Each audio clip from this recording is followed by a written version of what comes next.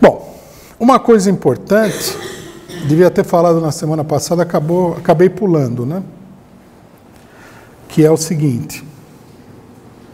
Tem um aspecto da, da colocação do Mourão que deve chamar muito a nossa atenção.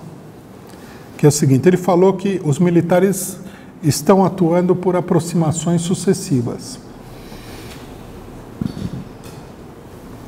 Ao falar isso daí, ele deixou claro qual que é a, a política do golpe. Então, por exemplo, eles vão, fazem uma determinada coisa, avançam num determinado sentido, ocupam um determinado espaço político, mas não vão até o final até o objetivo final. Daí, numa outra oportunidade, eles vão e fazem uma determinada outra coisa. Vão preparando o terreno através de ações que se aproximam do objetivo, mas que não são para imediatamente atingir o objetivo. São uma preparação do objetivo. Essa ideia, ele falou da tábua de logaritmo, mas a a questão das aproximações sucessivas, traduzida para a política, faz parte do vocabulário marxista há muito tempo. Né? É, o, o, próprio Trotsky, né? ele havia mencionado isso aí, vou, inclusive vou citar para vocês aqui. Né? Na história da Revolução Russa, ele diz o seguinte as massas entram em uma revolução não com um plano preparado de reconstrução social, mas com um sentimento agudo de que elas não podem suportar o velho regime.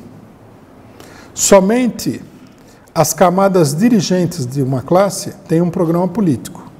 E mesmo este programa ainda requer o teste dos acontecimentos e a aprovação das massas. O processo político fundamental da Revolução consiste, nesse sentido, da compreensão gradual por uma classe dos problemas que surgem da crise social. A orientação ativa das massas pelo método das aproximações sucessivas. Os diferentes estágios de um processo revolucionário certificados por uma mudança de partidos nos quais o mais extremo sempre supera o menos extremos, o menos extremo, expressa a pressão crescente das massas para a esquerda. Então vocês veem o que, que é essa ideia da aproximação sucessiva.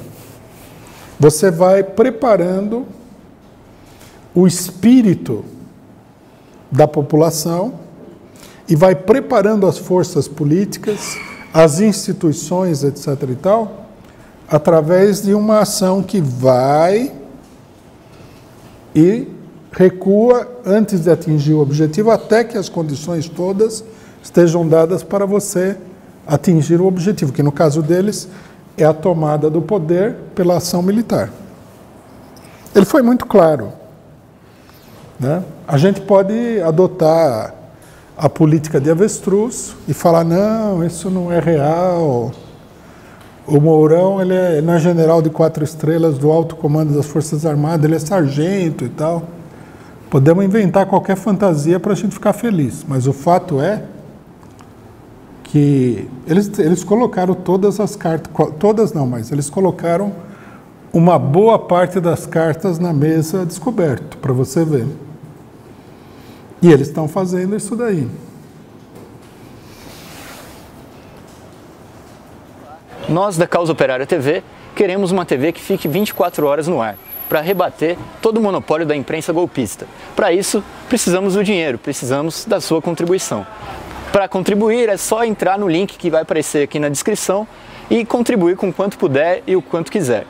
É isso daí.